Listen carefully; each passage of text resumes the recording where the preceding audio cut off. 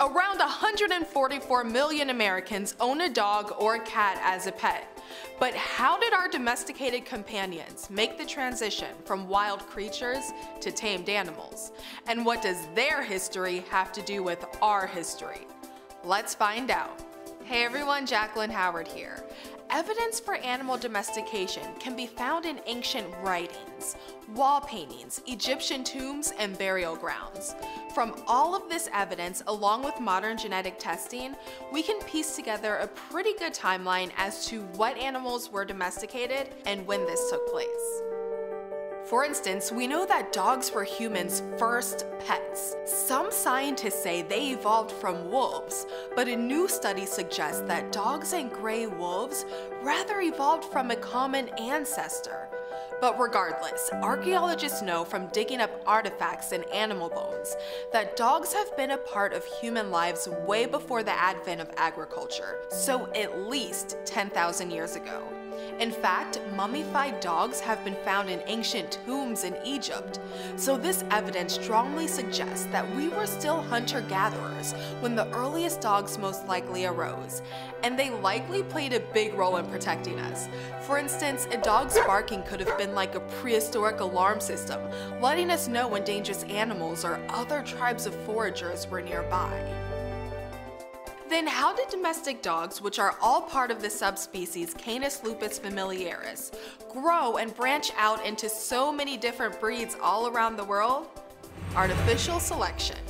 That means we humans, for thousands of years, selected the dogs we liked the most because of their fluffy fur, or friendly personality, or intelligence, or even ferocity, and we kept those dogs around and we bred them. In a span of less than 10,000 years, breeders have changed dogs' personality traits and body shapes so they'd have aspects that we preferred. A dog may have been bred for its hunting and herding behavior. See what I mean?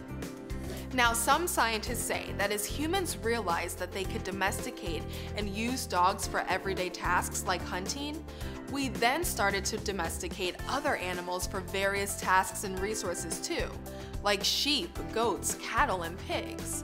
The domestication of animals played a key role in the rise of agriculture and the expansion of early civilizations around 10,000 years ago. Just think, domesticating work animals, from cattle and oxen to dogs and cats, creates larger farms, which thus means more food and more people. When the population in one area grows, so does infrastructure, social hierarchies, monumental architecture. I could go on and on.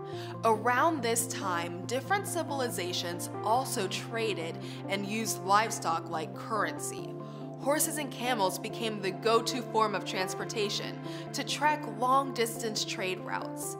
These beasts of burden transformed our way of life. The domesticated animals that impacted certain communities around the world varied. Just take cattle, oxen, sheep, goats, horses, donkeys, camels, chickens, and pigs, which were all native to Afro-Eurasia, while the people of the Americas domesticated llamas, turkeys, and guinea pigs. Not exactly animals that could pull heavy plows or take you on a long-distance trip.